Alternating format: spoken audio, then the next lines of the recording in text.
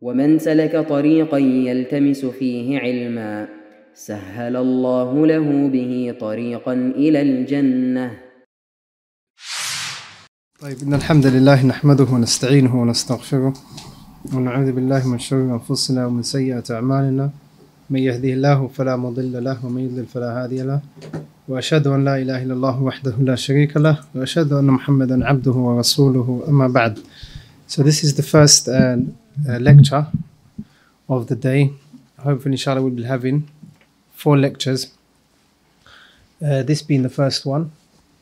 So the first lecture is an introduction into the manhaj of the Salaf or the Salafi manhaj, what it means, and the names, different names of Ahlul Sunnah and so on. So, and that we'll get into in a few minutes.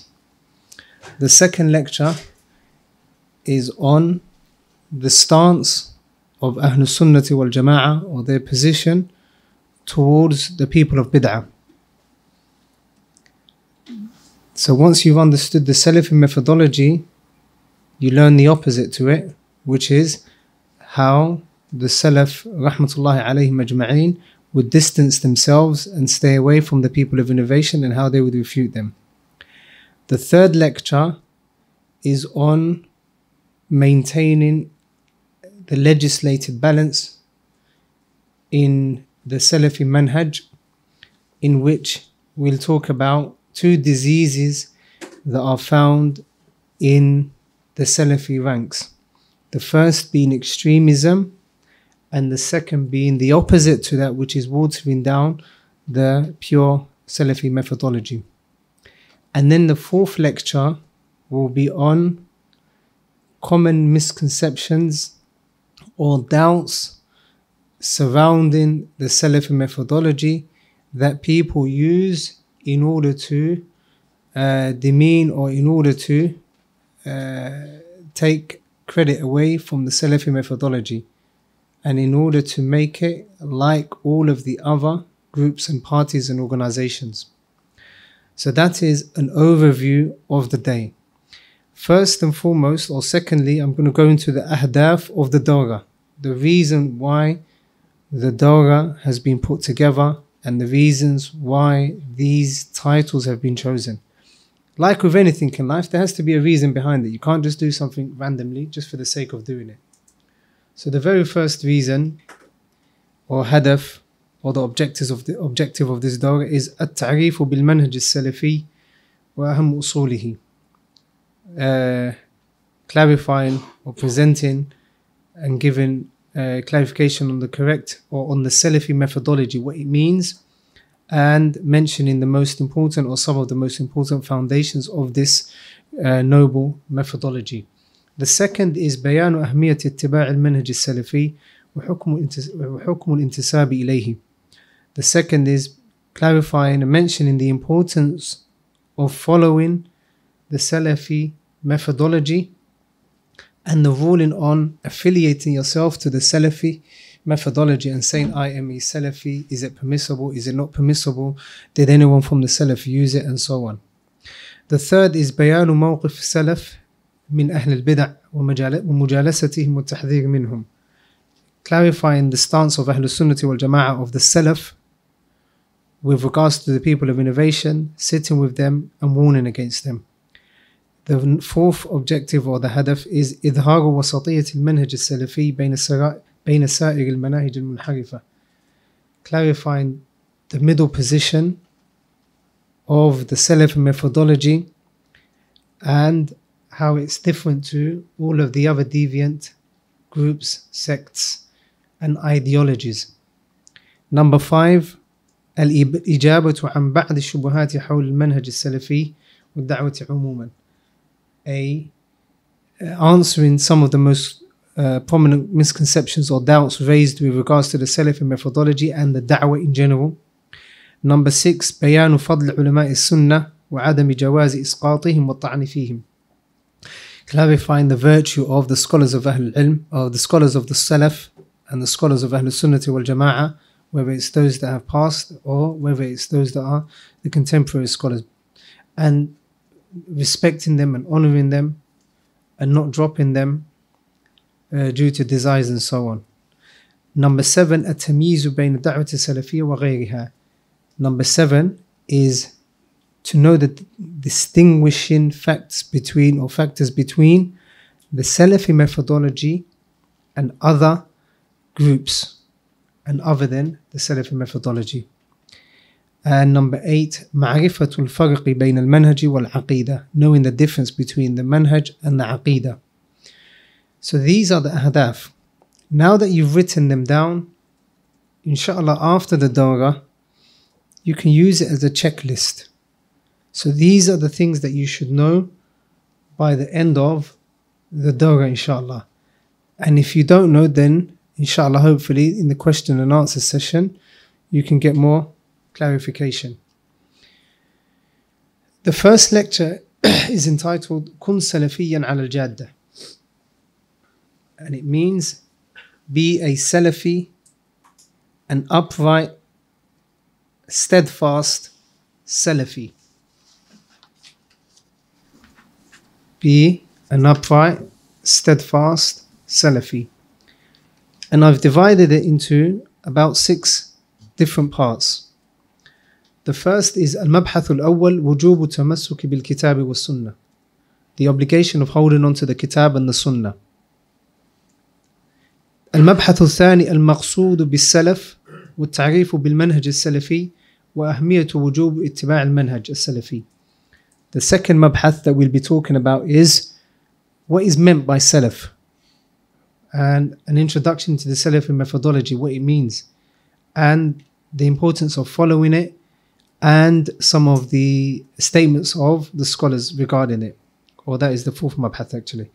المبحث الثالث مسميات أهل السنة. What are the names of Ahl Sunnah? Inshallah, we'll study several different titles that the scholars name or the scholars give or the Salaf gave for the people who follow the methodology of Ahl Sunnah. المبحث الرابع أقوال أئمة السلف في وجوب التمسك بالمنهج السلف. Statements from the Salaf, from the scholars that have preceded in the golden generations, in stressing the importance of following the Quran and the Sunnah upon the understanding of the Salaf al-Salih. المبحث الخامس أصول ومعالم المنهج السلفي أصول ومعالم المنهج السلفي Foundations of the Salafi methodology and the monuments of the Salafi methodology. And Al-Mabhath al-Sadis is Masail Muhimma Mulhaqatun bil Mawdu' Important Masail that are also connected to the methodology of this, of this topic, I mean. Important topics relating to the subjects of the lecture, such as uh, as you shall see, as you, as you shall see at the end of the lecture, inshallah. So the first mabhath is the obligation of holding on to the sunnah of the Prophet sallallahu or the kitab of Allah Jalla and the sunnah of the Prophet sallallahu alaihi wasallam. First and foremost, the kitab is the kitab that Allah Jalla wa ala has sent. And the Sunnah is a revelation that Allah Jalla wa ala has also sent. So the, the Quran is from Allah subhanahu wa ta'ala and the Sunnah of the Prophet sallallahu alaihi wasallam is a revelation from Allah subhanahu wa ta'ala likewise. Allah Jalla wa ala says, وَمَا ينطِقُ عَنِ الْهَوَى إِنْ هُوَ إِلَّا وَحْيٌ يُوحَى Allah Jalla wa ala mentions that the Prophet sallallahu alaihi wasallam doesn't talk from spe- uh, desires and whims, Rather, what he speaks, sallallahu alaihi wasallam, is revelation. So in these two, we find the legislation of the Muslim. Allah wa ala says, وَمَا كَانَ لِمُؤْمِنٍ وَلَا مُؤْمِنَةٍ إِذَا قَضَى اللَّهُ وَرَسُولُهُ أَمْرًا أَن يَكُونَ لَهُمُ الْخِيرَةُ مِنْ أَمْرِهِمْ Allah wa ala says that it is not befitting, it is not for a believing male or female that if Allah subhanahu wa ta'ala and His Messenger decree a certain matter, and order a certain matter, that they have any option in the matter. Also, the Prophet ﷺ said, تَرَكْتُ فِيكُمْ أَمْرَيْنِ لَن تَضِلُّوا مَا تَمَسَّكْتُم بِهِمَا كِتَابُ اللَّهِ وَسُنَّتِي I have left with you two things that if you hold on to, you will never be misguided. The Prophet ﷺ said, The Kitab of Allah, the Book of Allah, Jalla wa ala, the Quran, Al Kareem, and the Sunnah of the Prophet Sallallahu Alaihi Wasallam. And when Sunnah is being mentioned here, when we're talking about the Sunnah here, it is referring to the complete methodology of the Prophet Sallallahu and more specifically the belief of the Prophet sallallahu and the belief that Ahlul Sunnah inherited from the Prophet sallallahu.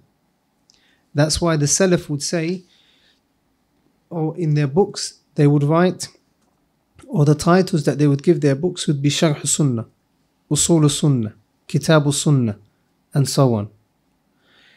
So Sunnah in the books of Aqidah and in our gathering today means the methodology of the Prophet ﷺ in his aqidah and in his ibadah and everything to do with the methodology of the Prophet ﷺ.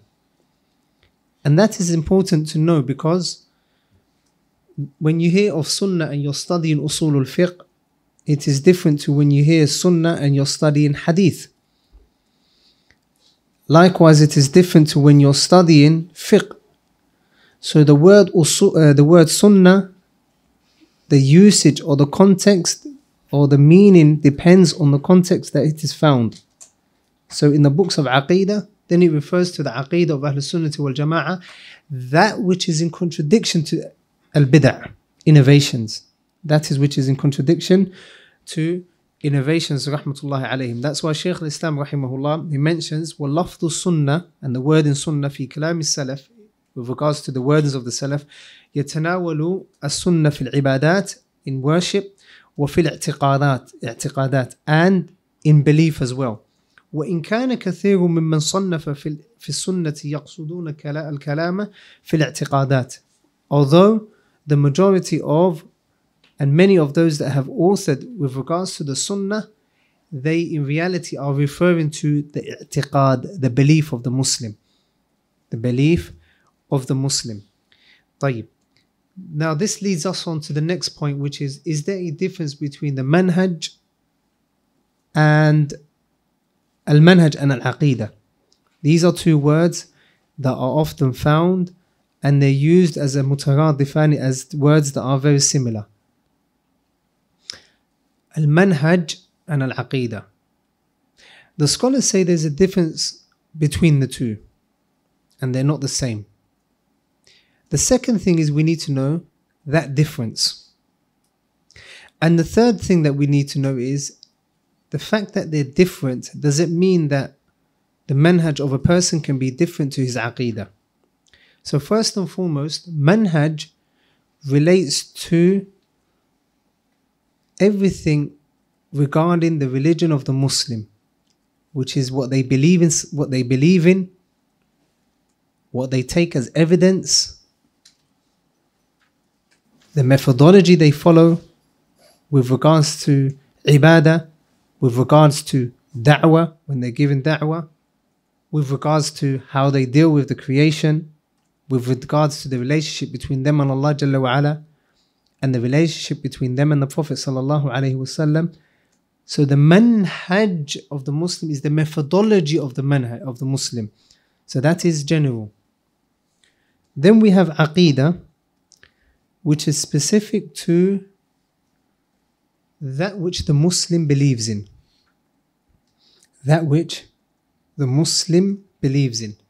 For example, the existence of Allah Jalla wa ala, Al-Iman billahi subhanahu wa ta'ala, believing in Allah Jalla wa ala, Al-Iman in the angels, in the qadr of Allah, in the, in the prophets, in the books of Allah Jalla wa ala, and so on, and the last day also to believe that the, uh, the believers will see Allah subhanahu wa ta'ala in, in, in, in Jannah and every other aspect of the aqidah of the Muslim, that which he believes in. So that is the aqidah of the Muslim. Like you study in the books of Tawheed and the books of Usul al Sunnah and so on. So that is the difference between the two. And manhaj is more general. Aqidah is a part of one's manhaj. The third point is can a person say, My aqidah is Salafiyya, my belief is Salafi? However, my manhaj is, for example, ikhwani, a ikhwani or a tablighi methodology or from any of the other deviant sects. The answer is no. For a person's manhaj to be correct, it will automatically make their aqidah correct. And for one's aqidah to be correct, it will necessitate that their manhaj is correct. So, for example, the Muslim believes in their aqidah that it is permissible, for example, to rebel against the hukam. That's with regards to the aqidah of the Muslim. If we look at the manhaj aspect of that, where do we get the evidence from to know that it is not permissible to rebel against the hukam? We get it from the general manhaj of the Muslim Your istidlal, the way you use evidence and what evidence you take from the Quran and the Sunnah, that is your manhaj. So there's that connection between the two. المبحث الثاني, the second mabhath or the second part of the lecture is المقصود بالسلف. What is meant by the Salaf and the Salafi methodology? First and foremost, the word Salaf is something that has preceded. Something that has preceded. قال جل وعلا فجعلناهم سلفا ومثلا للآخرين.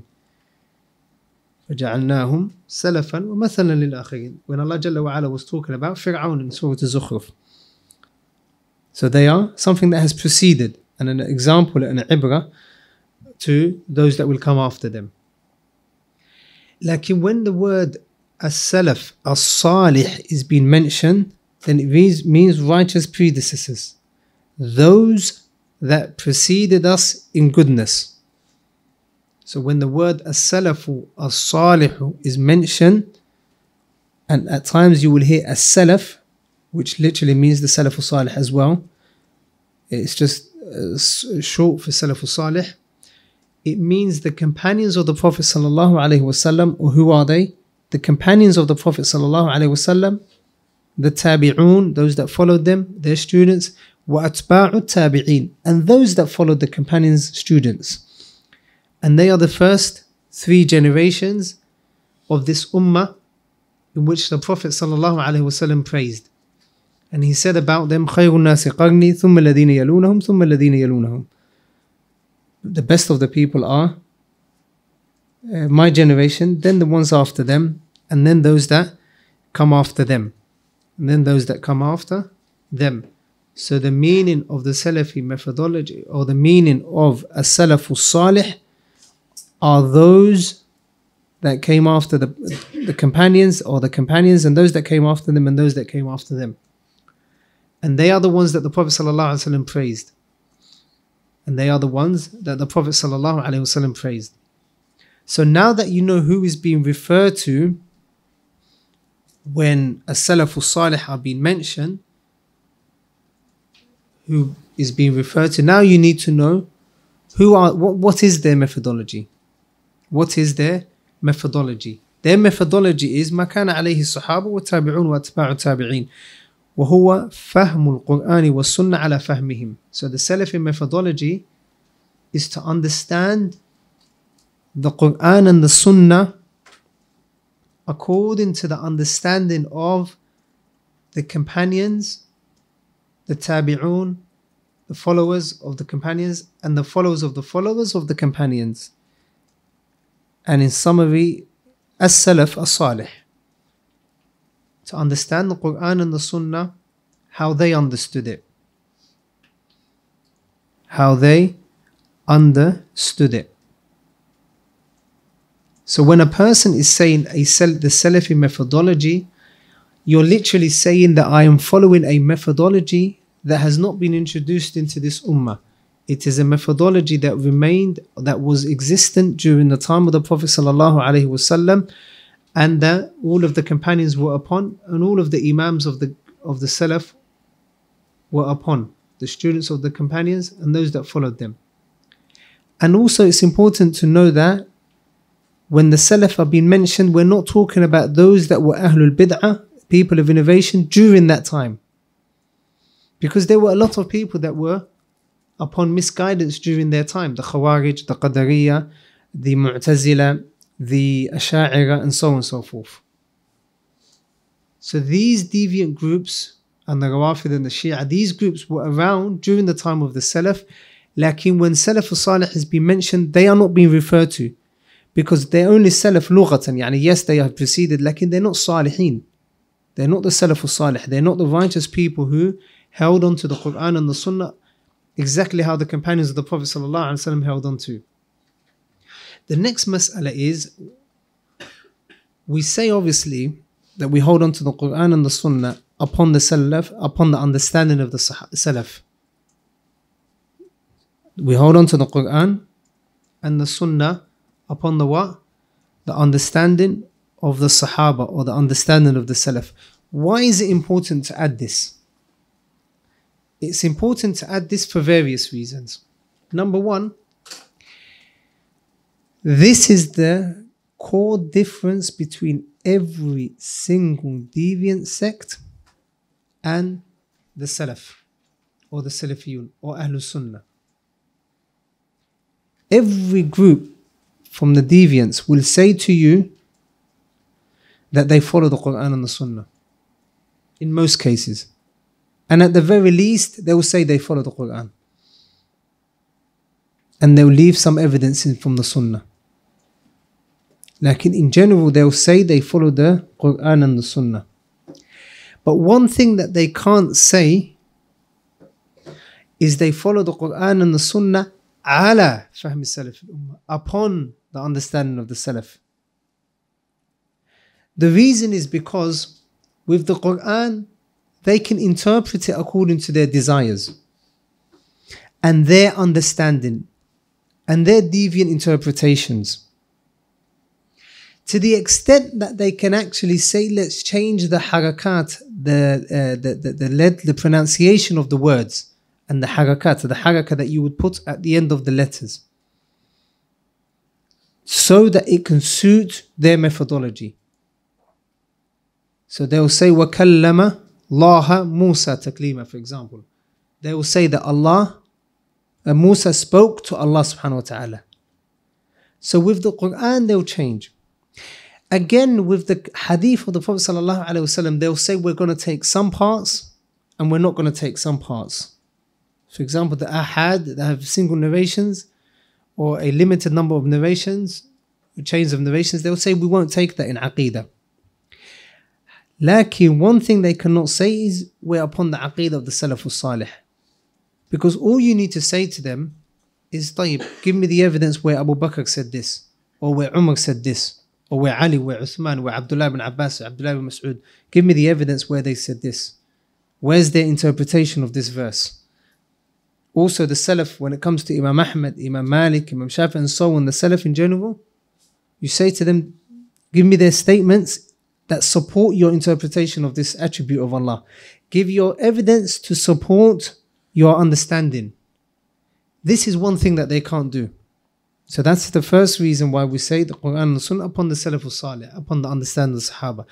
The second reason is that the Sahaba Ridwanullah Ta'ala alayhim, they witnessed the revelation of the Quran coming down upon the Prophet Sallallahu Alaihi Wasallam. And they knew the reason why the verses were revealed. They knew the context.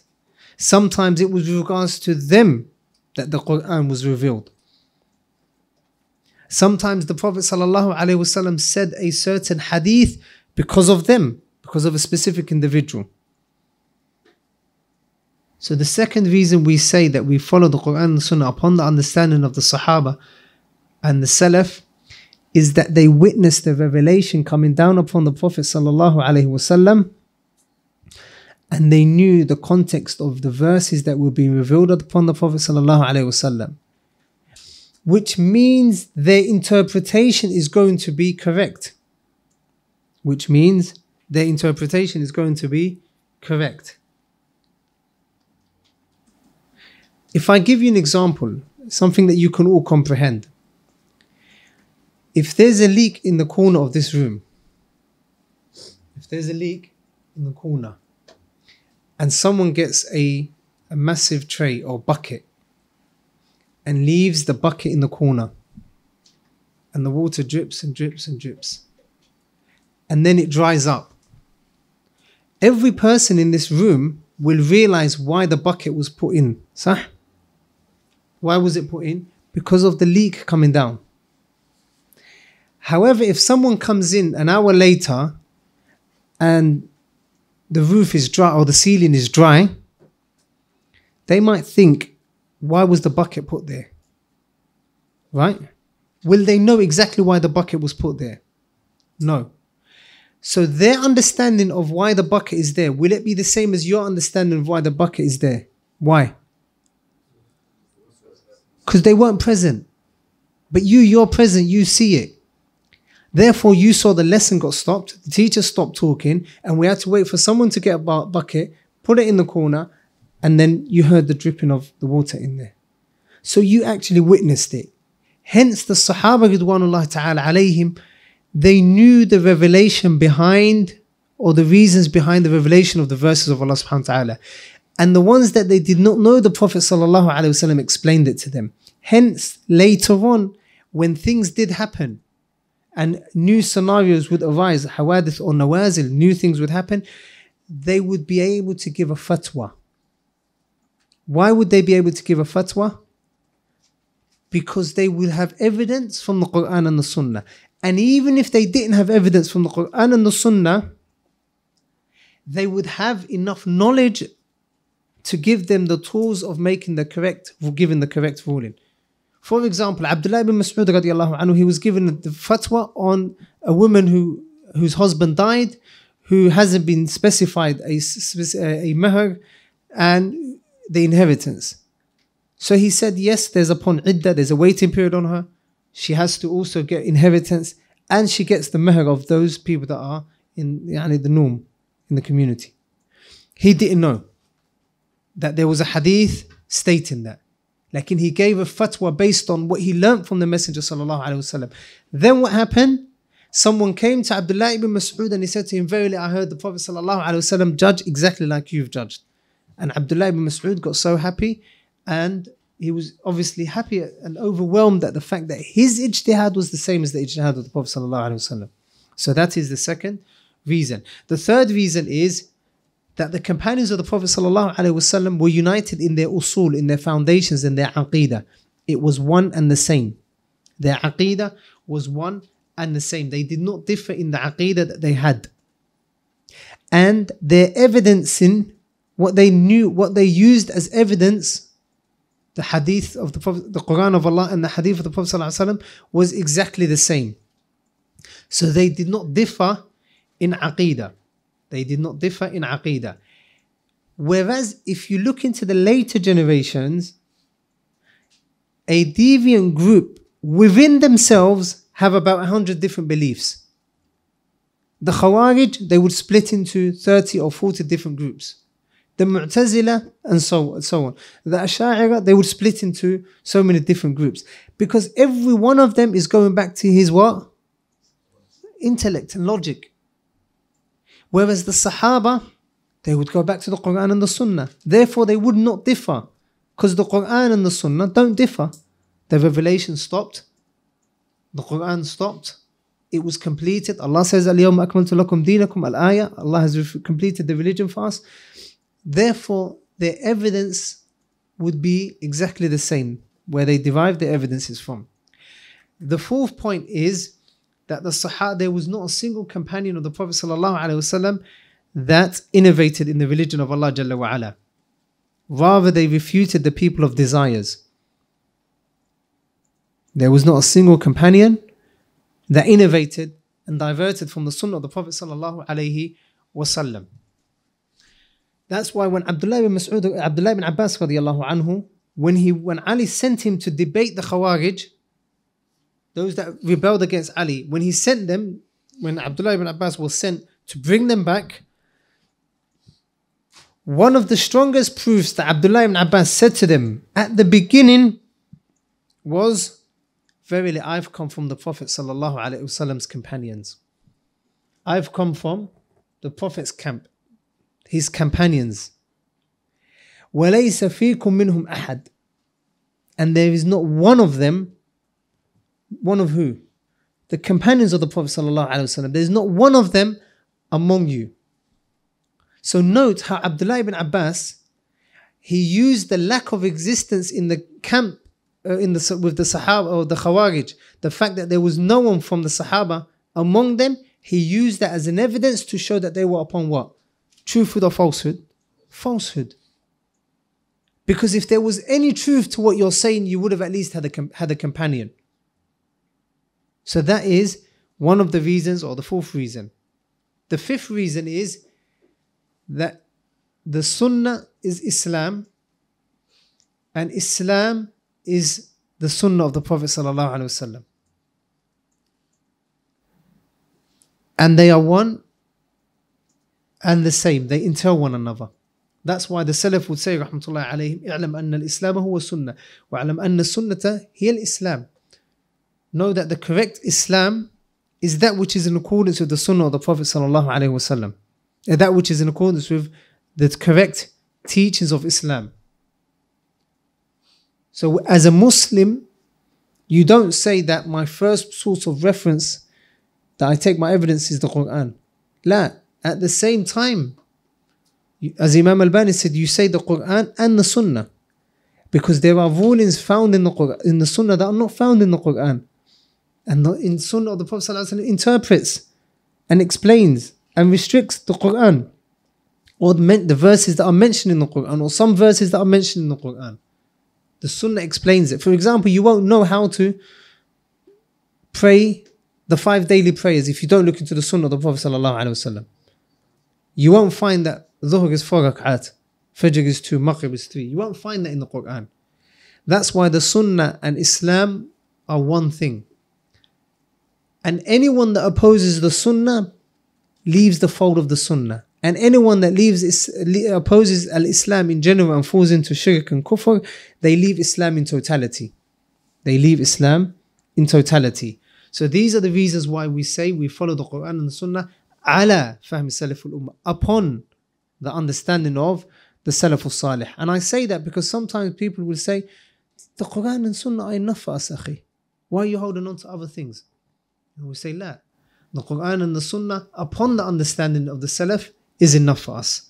طيب. The next point is who is a Salafi? من هو السلفي? The Salafi is من آمن وتمسك بما دل عليه القرآن والسنة على فهم السلف الصالح. The Salafi is the one that believes in, that acts upon, and holds on to that which the Quran or holds on to the Quran and the Sunnah of the Prophet sallallahu alaihi wasallam upon the understanding of the Sahaba. Upon the understanding of the Sahaba.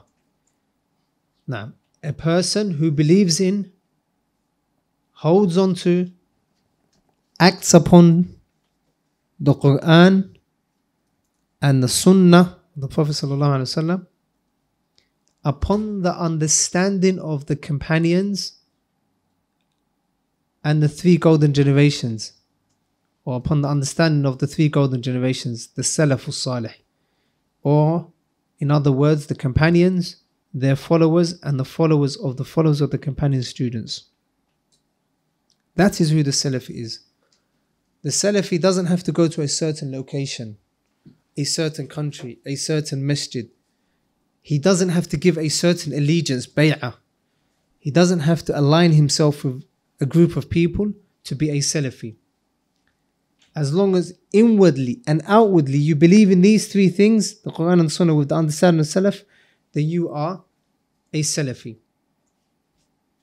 The next mas'ala is Is it permissible to say that you are a Salafi? Is it permissible to say that you are a Salafi? this, uh, we've said that the Salaf Salih are those that have preceded. And the Ya is Ya nisba bes. It is the Ya to show that you're affiliating yourself with them. So, a, uh, uh, for example, you say, Ana Salafi, or this person is a Salafi. So, is it permissible to say this or not?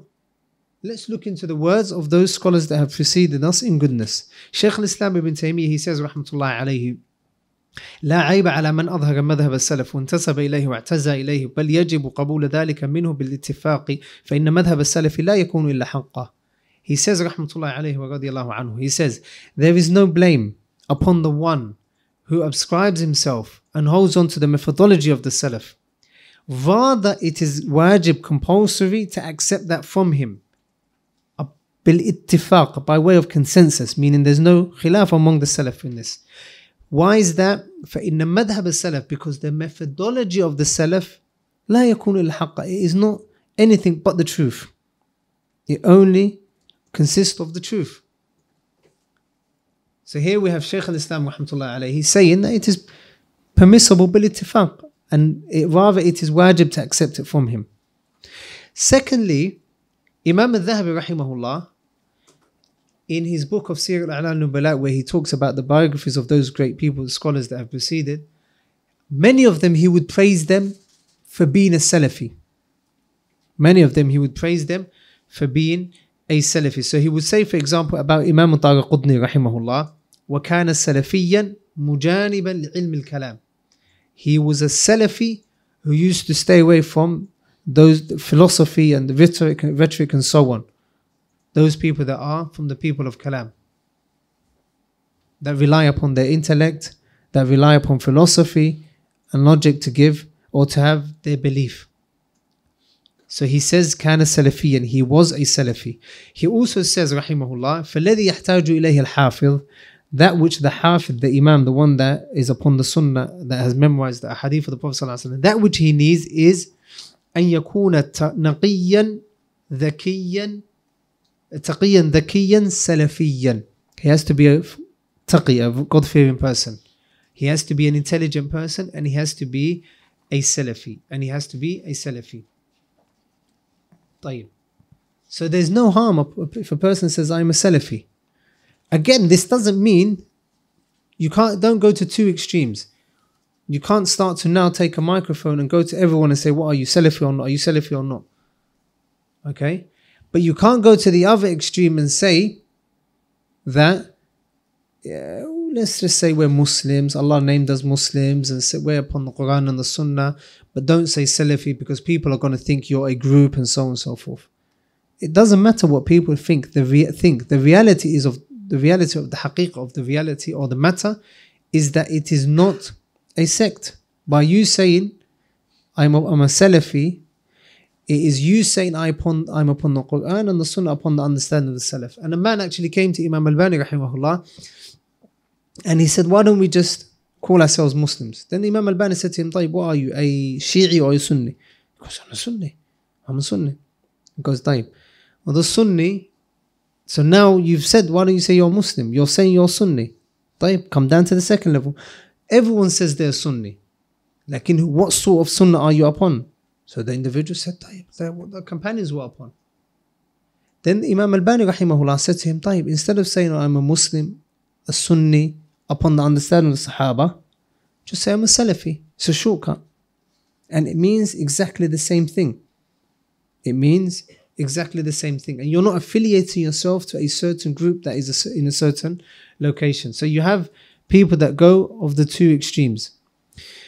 طيب المبحث الثالث the third مبحث is the names of أهل السنة والجماعة and أهل السنة والجماعة they have different names لكن number one their names may be different لكن the thing that they point towards are the same the name may be the names might be different in wording لكن in the word in the meaning they are calling to exactly the same thing secondly why did these names come about these names, the scholars mention that these names come about because there were deviants that appeared into the ummah that would all claim to be upon the truth, like they would oppose the correct teachings of the Sharia.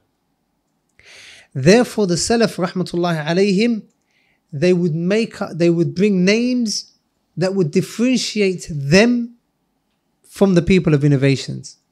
However, these names would not come out of their pockets. These names were also derived from the Quran and the Sunnah. These names were also derived from the Quran and the Sunnah. So the first name or the, the, the, the title that these people carry are Ahlu Sunnati wal Jama'ah. Ahlu, the people, as Sunnah of the Sunnah wal Jama'ah, and the Jama'ah, the main body of the Muslims. What does this mean? First and foremost, the Sunnah of the Prophet ﷺ, you've already understood. The beginning part of the lesson, we talked about what the Sunnah of the Prophet ﷺ was. That which he ﷺ did, said, agreed with, in terms of belief, in terms of its attributes, everything of the Prophet ﷺ. And more specifically so, the Aqeedah of Ahl Sunnah, which is in contradiction to Al Bid'ah. So that is Sunnah. So they are the people that follow the Sunnah of the Prophet ﷺ. Wal Jama'ah, they are the people that cling on to the main body of the Muslims. And who does that take away? The Khawarij, those people who rebelled against the main body of the Muslims. So, for example, during the time of the companions, Ahlul Sunnah wal Jama'ah, if we were going to say, they would be the companions, Ali and the companions that were with him. Why? Because they're on the Sunnah and they're with the Jama'ah, the main body of the Muslims. Whereas those Khawarij who fought against the companions, they left the main body of the what? Of the Muslims, and in return, as an effect of that, they left the Sunnah of the Prophet. So that is why they are called Ahlul Sunnah wal Jama'ah. And they will be called Ahlul Sunnah wal Jama'ah for as long as they follow the Sunnah and the Jama'ah, the main body of the Muslims. And they don't come with anything that takes them out. The next name is Ahlul Hadith. Ahlul Hadith. Ahlul Hadith meaning the people of the Hadith. The people that hold on to the ahadith and act upon the ahadith of the Prophet sallallahu alaihi wasallam.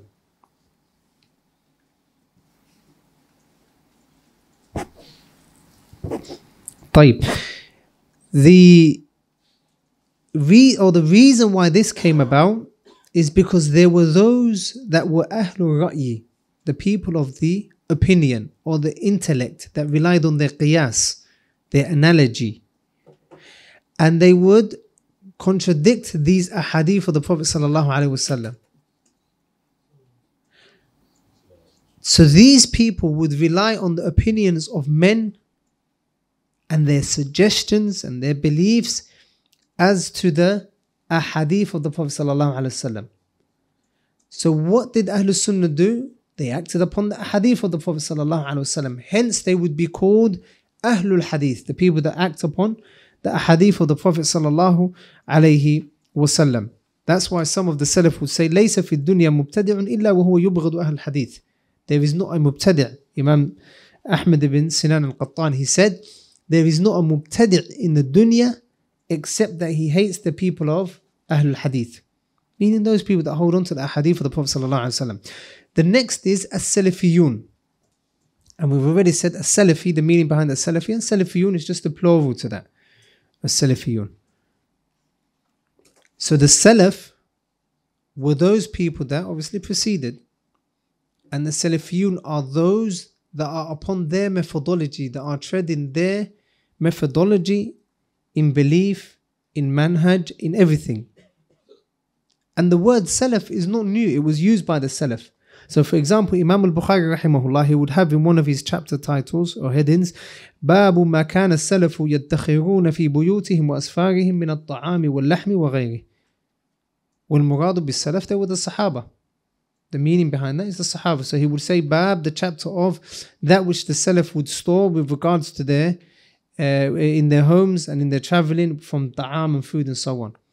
And if I remember correctly, that is relating to Eid Ayyam Tashriq, in which the Udhiyah is done.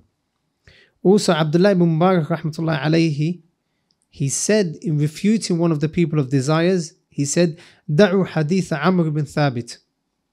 Leave the hadith, don't narrate from Amr ibn Thabit. Why is that? فإنه كان يصب السلف because he used to insult the Salaf. He used to insult the Salaf. So the word Salaf was something that was used in the books of, according to the Salaf. Abdullah ibn Mubarak radiallahu anhu rahimahullah, he died 181. And Imam Bukhari, you know, that he was from the Salaf. And then even through the generations, they would use that, as Imam Dhahabi uses in his, in his book of uh, Tarikh, history, to point out that this person was Salafi and that person was a Salafi. The third is Ahlul Athar. Ahlul Athar.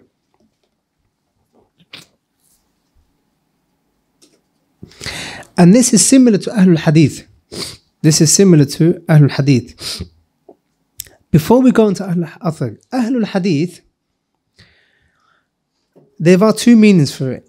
In terms of Ahlul Hadith, meaning those people that are upon the haqq, but there's another specific usage which is not meant here, which is those that specialize in the knowledge of hadith. And we studied that at the beginning of Arba'in al-Nawawi.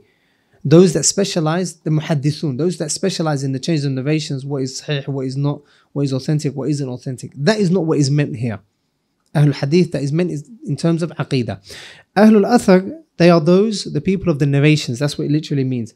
That's the fourth name. And that literally means they hold on to the narrations of the Prophet sallallahu alaihi wasallam and they leave off the opinions of people and the opinions of those that oppose the sunnah of the Prophet sallallahu alaihi wasallam. That's why Abdullah ibn Umar radiallahu anhu he said, لا يزال الناس على tariqi mattaba'u. People will not cease to be upon the correct methodology for as long as they hold on to the narrations of the Prophet sallallahu alaihi wasallam. Also, Imam Abu Hatim, and they said in the, the Aqidah the Raziyayn, Abu Zur'a and Abu Hatim, they said, علامة الحديث البقعة al-waqi'atu. A sign of the people of innovation is that they insult and they degrade and they belittle the people of the athar that hold on to the narrations of the Prophet sallallahu alaihi wasallam. Number five, al-firqatun najiyah, the saved sect.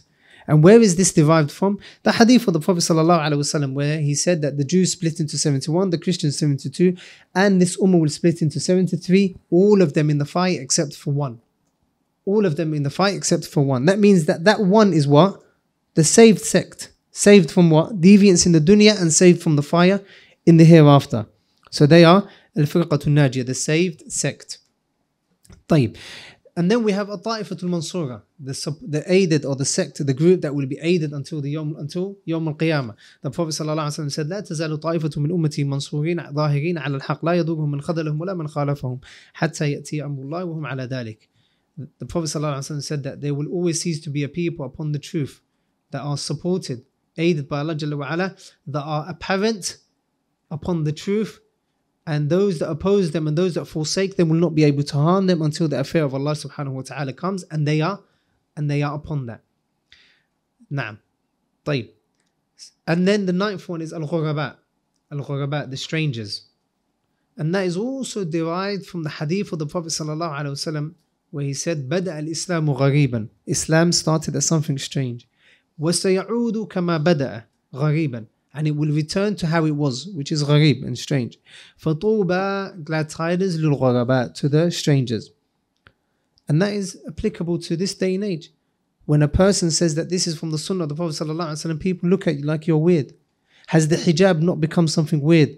A person practicing the religion of Allah, that person has become somewhat a person who's a weirdo. So these are the ghuraba of today they're known as strangers.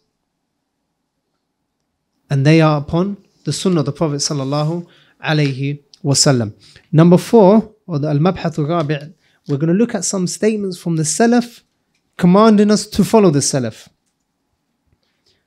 Statements from the Salaf, from the uh, golden generations, telling us to follow and the importance of following the Salafi methodology. Number one, Imam Abdullah ibn Mas'ud radiallahu anhu, Abdullah ibn Mas'ud radiallahu anhu, the noble, knowledgeable companion, he said, من كان مستنا فليستن بمن قد مات. Whoever is taken an example or a role model, let him take as a role model those that have passed away. فإن الحي لا تؤمن عليه الفتنة. For verily the one that is alive is always prone to fitan. He said, أولئك أصحاب محمد صلى الله عليه وسلم. They are the companions of the Prophet صلى الله عليه وسلم. كانوا أفضل هذه الأمة. They were the best of this ummah. وأبرها قلوبا and the most God-fearing in terms of their hearts. وأعمقها علما and they had the most knowledge. وأقلها تكلفا and those that يعني overdid themselves the, the least because they naturally understood the Quran and the Sunnah with the Prophet ﷺ, uh, explaining it to them. اختارهم الله لصحبة النبي صلى الله عليه وسلم. Allah Jalla wa ala chose them to be the companions of his Prophet صلوات الله وسلامه عليه ولإقامة دينه and to establish his deen. فأعرف لهم فضلهم. So know know their virtue. Abdullah ibn Mas'ud radiallahu anhu is telling us, know their virtue, the virtue of the companions of the Prophet sallallahu alaihi wasallam. what uh, the virtue of the companions of the Prophet sallallahu alaihi wasallam واتبعوهم واتبعوهم على أثرهم and follow them in their traces in their ways in their methodology in their belief in their character in everything follow them وسيرتهم and in their biography فإنهم على الهدى المستقيم for verily they are upon upright guidance for verily they are upon upright guidance also Imam al-Awza'i rahimahullah he said اصبر نفسك على السنة hold yourself patient to the sunnah وقف حيث وقف القوم and stand where they stood وقل بما قالوا and say that which they said وكف عما كفوا عنه and stay away from and refrain from that which they refrained from واسلك سبيل سلفك الصالح and take the methodology and tread upon the methodology of the Salaf as-Salih the righteous predecessors so Imam al-Awza'i rahimahullah he's not only telling us to be patient لكن he's saying قف حيث وقف القوم do as they did have the stop at the boundaries that they stopped on if they said something, then say it. If they believed in something, then believe in it. Don't say, yeah, but Sheikh Fulan said, this Sheikh said, and this said, and this person said, yeah, but uh, this Imam said, and so on and so forth. La. Did the Salaf do it? So anytime that you're, someone brings a new belief for you or something new, say, did the Salaf do it? Whether it's anashid, whether it's uh, uh, doing films or um, uh, acting in order to give da'wah and so on and so forth. Best did the Salaf do it? Yes or no? If they did it, then Alhamdulillah. And if they did not do it, then follow these words. وَقِفْ حَيْثُ وَقَفَ الْقَوْمِ Just stand where they stood. You can't go wrong if you stand and if you do exactly that which they did. وَقُلْ بِمَا قَالُوا And say that which they said. The Salaf al-Salih, their methodology is clear we as the latter generations we don't need to bring anything new that is what it means to be a muttabi' to be a follower of the salafus salih as the saying goes if it's not broken don't what Fix it the methodology of the salafus salih is not broken it is salih wa muslih likulli zaman wa makan it is uh, applicable and you can apply it in every age in every era just follow it exactly how it is. And you don't need to come up with new things and new methodologies. And the people are yearning for the sunnah of the Prophet sallallahu alaihi wasallam. Like when you say that this day and age it's not suitable, this is not suitable, we can't do this because they lived in a different time to us. That is all from the whisperings of shaitan. The methodology of the Salaf Salih, they will say, قُل بِمَا قَالُوا Say that which they said. It's very easy. يعني it's actually easier because you don't have to do anything. Just read their books and follow their methodology. خلاص. وكف عما كف عنه. Also Imam Ahmed said رحمه الله أصول السنة عندنا the foundations of the sunnah according to us عندنا يعني أهل السنة التمسك بما كان عليه أصحاب رسول الله صلى الله عليه وسلم holding on to that which they were upon والاقتداء بهم and holding on to their methodology following them holding on to it and following their methodology. وَتَرْكُ الْبِدَعْ and leaving off innovations. So Imam Ahmad rahimahullah, he says three things. These three things are literally found in the statements of the two, sta- two Imams that preceded, the companion Abdullah ibn Mas'ud and Imam al-Awza'i. He says, the foundations of the sunnah is that we follow, we hold on to, that we follow, hold on to, follow, and leave off the bid'ah. Also, Imam Malik rahimahullah, he said, لا يصلح آخر هذه الأمة إلا بما أصلح أولها that the latter part of this ummah us those that will come after us will not be rectified except with that which rectified its earlier part. Who were the earlier generations? The Salafus Salih whatever rectified them will also rectify them. And this is another distinguishing uh, reality between Ahlus Sunnah and every other deviant sect. Every deviant sect wants that which is jadid, that which is new. And they're constantly figuring out new ways to attract the people and to rectify the situation of the Muslims. Like in Ahlul Sunnah, they say, La khalas, let's take the people to the old. Let's take the people to the olden days belief and their methodology. And I'm not talking about olden days in terms of worldly things. I'm not saying let's go to the Stone Ages whereby we don't drive cars and no airplanes. That's not what I mean. In terms of aqidah, then our success lies in following the methodology of the Prophet sallallahu alaihi wasallam and his companions. Like in every deviant sect will come up with new things in order to, and that's why they, that's where misguidance comes from. طيب. The fifth mabhath is some usul or some of the foundations of the Salafi methodology. Number one, مصدر التلقي عند أهل السنة. Where do أهل السنة take the evidence in from? Where is the source that they derive their rulings and their legislation from? The answer is the Quran of Allah Jalla wa ala, the Sunnah of the Prophet Sallallahu Alaihi Wasallam upon the Salaf, the understanding of the Salafus Salih. And you know what Salafus Salih means by now. So that is where the Salafiyun or the Ahlul Sunnah derive their Sharia from The Quran, the Sunnah, and the Ijma' of the Salaf al Ummah. That is what makes them different to every other deviant sect. طيب Allah Jalla wa ala says فإن تنازعتم في شيء فردوه إلى الله والرسول If you differ in something then return it back to Allah subhanahu wa ta'ala and the Messenger sallallahu alayhi wasallam. Do not take it back to your beliefs.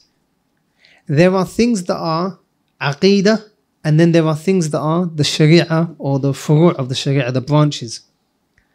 When new things happen with regards to the worldly things, then you go to a fatwa and you look from the fiqh, the ijtihad and so on. Like with the aqidah and the methodology of the Muslim, they derive it from the Quran and the Sunnah upon the understanding of the Salafus Salih. And that is why, if you get a alim from Africa, a alim from the Western world, a alim from uh, the Middle East, a alim from the far part of the Amazon forest, and you ask each one of them to write the Aqeedah of Ahlul Sunnah wal Jama'ah, every single one of them will say exactly the same thing. Why is that? They don't have, a, it's not like they've never met. Like, what is one? What is united? The reference point, the intilaq, where they are taking their sourcing or their referencing from, which is the Quran and the Sunnah upon the understanding of the Salaf. And even look at the scholars. There were those that were from Khorasan. There were those that were from Iraq. There were those that were from Sham. There were those that were from uh, Spain, as we know it now. There were those that were from Morocco. Different parts of the world. Like in the Aqidah is one, because where they're taking the Aqidah is from the Quran and the Sunnah, understand the Salaf. Number two, al-ihtimam بتصحيح العقيدة علما وعملا وتعليما. The second distinguishing fact, uh, foundation of Ahl Sunnah wal Jama'ah is that they give importance to the Aqidah of the Muslim, teaching the Aqeedah of the Muslim, rectifying the Aqeedah of the Muslim, and spreading the correct Aqeedah of the Muslim, starting with the Tawheed of Allah subhanahu wa ta'ala and warning against shirk, and calling to the Sunnah of the Prophet wasallam, and warning against al bid'ah and innovations, and warning against sins in general. And you won't find a group or a people other than Ahlul Sunnah calling to the rectification of the Aqidah. Every other group will say to you, like, it doesn't matter what we believe in, as long as we share the common title of Al Islam, as long as they were Muslims, you believe that Allah exists and Muhammad existed, khalas, it doesn't matter. Anything else, we put it to one side. That is incorrect. Lakin, the person, the Ahlul Sunnah, Ahlul Sunnah will say to you, like, let's rectify our Aqidah first. So they won't say to you, they won't allow you to go do a tawaf around the grave of the Prophet. They say, let's stop, hada shirk. That is shirk. Whereas other deviant sects will say, what? Like, khalas, it doesn't matter. You believe in that. You intend well. You mean good. Do your tawaf, but later on, let's have our tea. So it's okay for them. Like in the main thing for the Salafi, the Sunni, the person upon the methodology of Ahl Sunnah, he will say, La, first and foremost, stop your shirk. First and foremost, worship Allah subhanahu wa ta'ala alone. Don't make dua to the grave. Don't call it tawassul. Don't celebrate the birthday of the Prophet sallallahu alaihi wasallam. Don't rebel against the hukam as the Prophet sallallahu alaihi wasallam taught us. The make or break point for Ahlul Sunnah is the Aqidah. And that is the only way that the Ummah can be united. Where do they get that from? The methodology of the Prophet ﷺ. When he came to Mecca, وسلم, they had many social problems. Were they not burying their daughters? Did they not have four different types of nikah or even more? Bala, they did. Did the Prophet ﷺ say, did they not indulge in ghibah? Did they not take each other's wealth unjustly? The Prophet ﷺ did not say, guys, stop conning each other. Don't bury your daughters. Be okay. Alhamdulillah, let's all get along. لا. He started off with what? اعبدوا الله ما لكم من إله غيره. He started with what? يا قوم قولوا لا إله إلا الله تفلحوا. يا قوم say لا إله إلا الله and you'll be successful. Even Salah, that is the second pillar of Islam, it was only legislated in the night of Al-Isra wal Mi'raj, which was around the 10th year of the prophethood of Prophet sallallahu alaihi wasallam. So that is something that distinguishes Ahlul Sunnah from other than them. And even look onto look into the da'wah in general. It is Ahlul Sunnah that are calling to Aqeedah. As for everyone else, in one panel, you will find a Deobandi. In another panel, you will find the person who is a person of the Khawarij. In another, in the same panel, you will find someone who you don't even know what they believe in. They, all of these. Why? Because they come together for the common good, as they believe, as they believe the common good. You say La ilaha illa طيب, I say La ilaha illa too. Let's call upon call to Allah. Let's call, La ilaha illallah. طيب. Number three, تقديم النقل على العقل عند التعارض التعارض. أهل السنة والجماعة if there's a contradiction between our desires and our intellect and our logic and our understanding, and the Quran of Allah and the Sunnah of the Prophet sallallahu we give precedence to the Sunnah of the Prophet sallallahu and the Quran of Allah Jalla wa'ala. We give importance to the nusus, the textual evidences, over our desires. That's why Allah Jalla wa'ala says, فَرُدُّوهُ إِلَى اللَّهِ وَرَسُولِ Allah did not say, take it back to your awatif, your beliefs, your whims and desires and so on, and your emotions. Allah says, take it back to Allah Jalla wa'ala and the Messenger sallallahu alayhi wasallam. Number four, لزوم الجماعة. لزوم الجماعة والسمع والطاعة. Having those two things. لزوم الجماعة, holding on to the jama'ah. Stay sticking to the main body of the Muslims. Hence they are called أهل السنة jama'ah. And also as-sam'u wa ta'a, which is written in every single aqidah of the Salaf. Every single book that talks about the aqidah of the Salaf, this masala is written in, which is to follow the sunnah of the Prophet to stick to the main body of the Muslims and to not rebel against the hukam due to the Prophet's ahadith. Even before you say due to the harm that comes after rebelling, before you say that, you say first and foremost due to the ahadith of the Prophet sallallahu alaihi wasallam. Due to the hadith of the Prophet sallallahu alaihi wasallam. And also to not divide our, the ummah, not to name each other Let's name ourselves Tablighi and give ourselves six principles. Let's call ourselves Jama'at al Ikhwan Muslimin and we've got our own methodology and our own bay'ah and so on and so forth. Let's call ourselves Hizb Tahrir. We're going to call ourselves Muhajirun. We're going to call ourselves Boko Haram. We're going to call ourselves Shabab and so on and so forth. None of that. Like you follow the Sunnah and you call yourselves Ahlul Sunnah, the people of the Sunnah, wal Jama'ah, that stick to the main body of the Muslims. طيب also, إثبات أسماء الله سبحانه وتعالى وصفاته affirming the beautiful names and attributes of Allah سبحانه وتعالى من غير تحريف ولا تعطيل ولا تكييف ولا تمثيل without changing distorting negating or likening or giving a form to any of the beautiful names and attributes of Allah subhanahu wa ta'ala. And that goes back to what? the aqidah, in reality, that goes back to the second, the third point, the second point, which is the importance of rectifying the aqidah of the Muslim. Like in the scholars specify this in specifically because, or mention it specifically because there are so many deviant groups that oppose Ahlul Sunnah in this. طيب. Number six, al-ibtu'adu an al-bid'ah. Staying away from innovations. والتحذير and min ahl bid'ah and warning against ahl bid'ah. Staying away from bid'ah and the people of bid'ah. whether it's all types of jama'at, groups and parties and organizations, whether it's out in the open or secret organizations and secret societies, we stay away from all of that. Because the more you stay with them, the more you'll be misguided and deviated.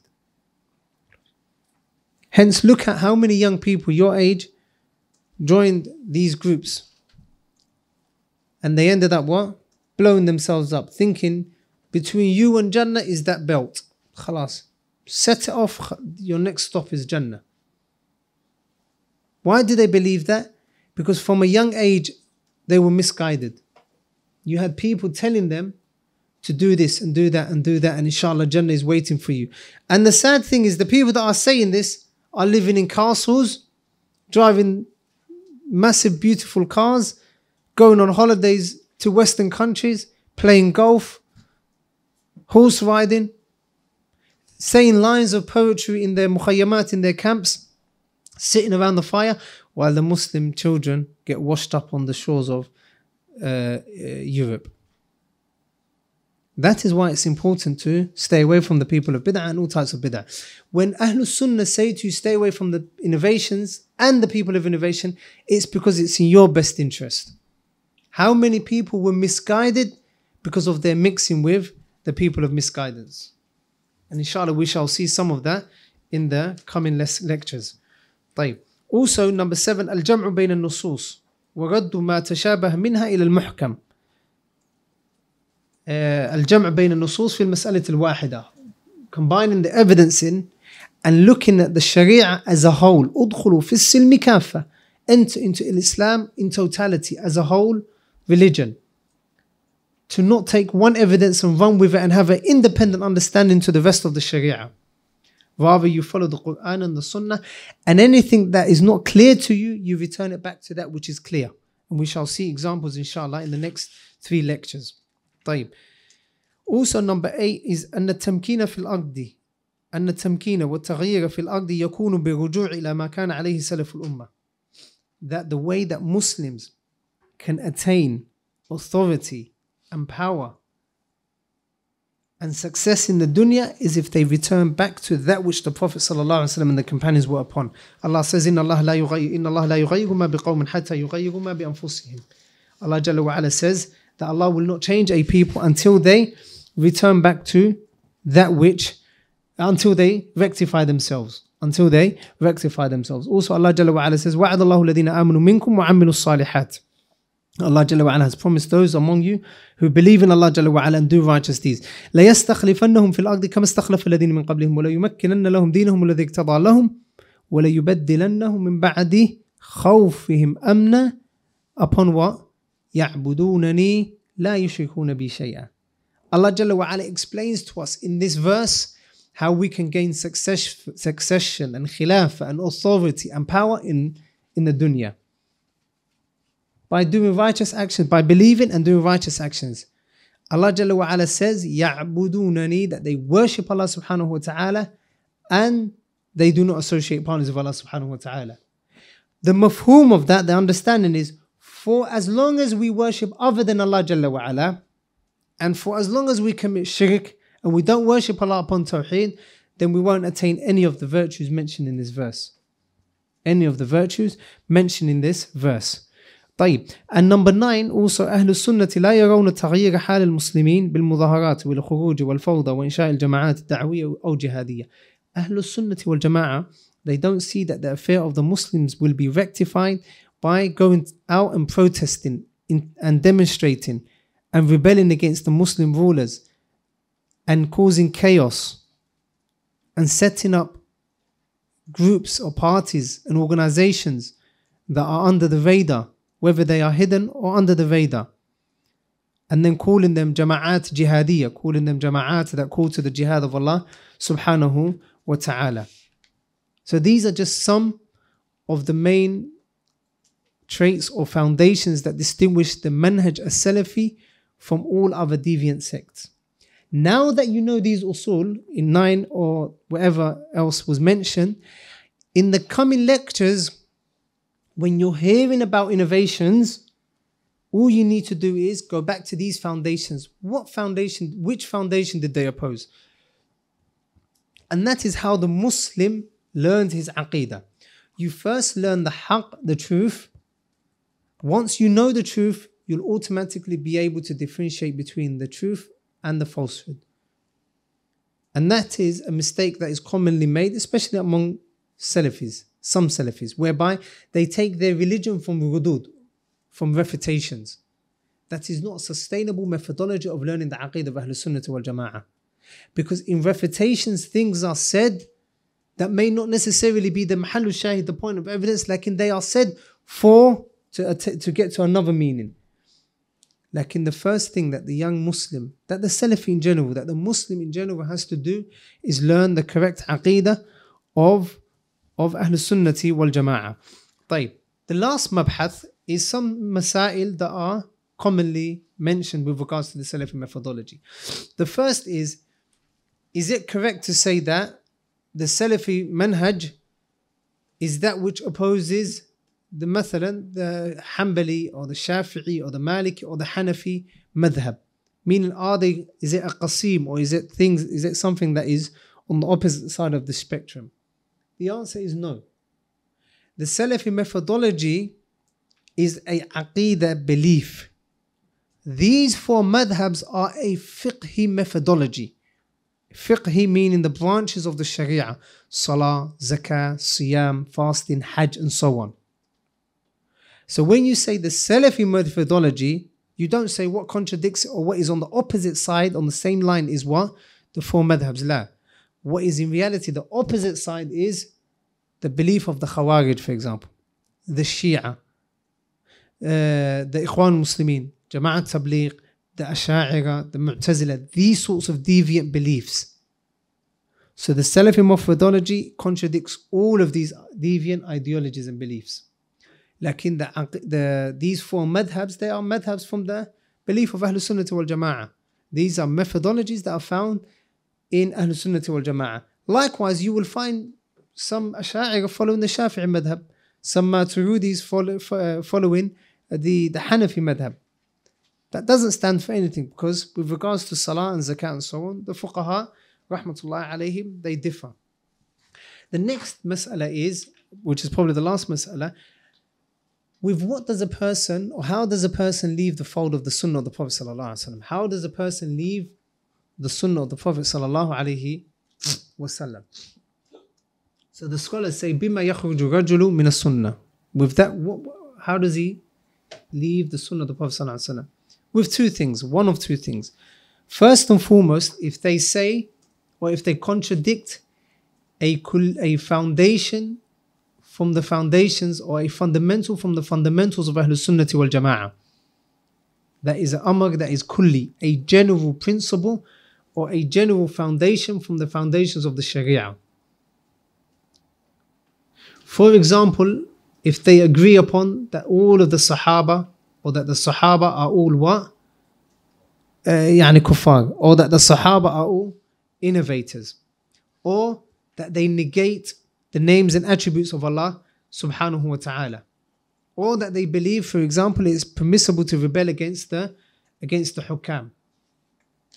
Or that they believe that they should not refute Ahlul Bid'ah and it's not desirable to refute the people of desires. طيب. So all of these are usul or foundations of the usul of Ahlul Sunnah.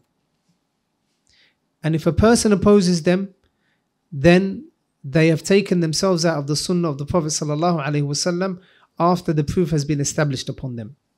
The next mas'ala is if a person contradicts different juz'iyat, different juz'iyat, different branches or different masail, individual masail, in which the khilaf between Ahlul Sunnah and Ahlul Bid'ah is commonly known.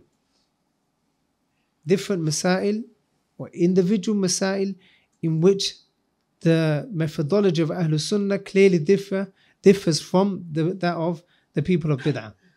For example, if a person says, I like all of the Sahaba, lakin uh, Muawiyah radiallahu anhu, he was a this, he was that.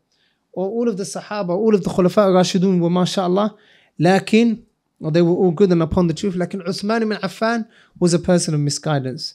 He used to cheat the people and his uh, his legacy was uh, a, a, a, hole in the tariq or in the history of the Muslims. Or they say it is permissible to rebel against this ruler of the Muslims in any one land, yani this ruler. That's why the Salaf, rahmatullah alayhim, they would say that certain people, مثلا Ahmed ibn Salih or Al Hassan ibn Salih, I believe it was, they would say, Imam Ahmed and Sufyan Thawri they would say he was a mubtadi'. The reason they would mention is Kana Yara Saif. He used to see that it was permissible to rebel against the Hukam, although he's never actually rebelled against the Hukam. Although he's never rebelled against the Hukam. That's why I believe it was Sufyan al-Thawri that saw him one time. He was emotional, he was crying. He said, Don't believe in these, the, this hypocrite's uh, tears. Which shows how, how stern Ahlul Sunnah were against the people of the Bid'ah. So the person leaves the Sunnah of the Prophet with these masail. For example, uh, Allah Jalla wa ala, istiwa, istiwa is known يعني, among Ahlul Sunnah. Ar-Rahmanu ala al istawa. Allah Jalla wa ala rose above his throne. Ahlul Bid'ah, they say, la, istawla. Or they say, for example, we don't believe in the hadith where the Prophet, where Allah Jalla wa ala, where Allah Jalla wa ala descends to the lowest heaven every night. We don't believe in that hadith. And they mention different doubts. The person will leave the method, the aqeed of Ahlul Sunnah wal Jama'ah because of this. Also, it's important to know that the person that takes people out of the Sunnah, or the person himself, he takes himself out of the Sunnah. Like in the people that clarify this and establish the proof are the scholars of Ahlul Sunnati wal Jama'ah. Hence, the Shabab, those seeking knowledge, uh, they should not busy themselves with he's a mubtadi' and he's a Sunni or he's this, he's that. These are left to those people that are qualified because they are the ones that know what takes a person out of the Sunnah. So, with regards to that issue, we can't be on either of the two extremes as we shall see. We can't say, La, no one can be a mubtadi'. Mubtadi' is only something that was found about a thousand years ago, and there's no mubtadi' today. As long as everyone's upon good and khayr, alhamdulillah, we get along like a house on fire. We can't say that. And you can't also say the opposite, which is to say that everyone doesn't agree with me, who doesn't agree with me is a mubtadi'. He's not in the masjid today, therefore he must be a mubtadi' he hasn't come to this conference or he doesn't come to this city or this. When he comes to this area, he doesn't come to Masjid al Nawawi, so he must be a mubtadi'. We can't say that. So we need to be balanced. So that is uh, a, uh, a summary of the first lecture. We'll carry on with Sheikh Muhammad in the in the next lecture, inshallah, in about five or ten minutes or so, inshallah. Wallahu ta'ala a'lam wa ahkamu billahi tawfiq.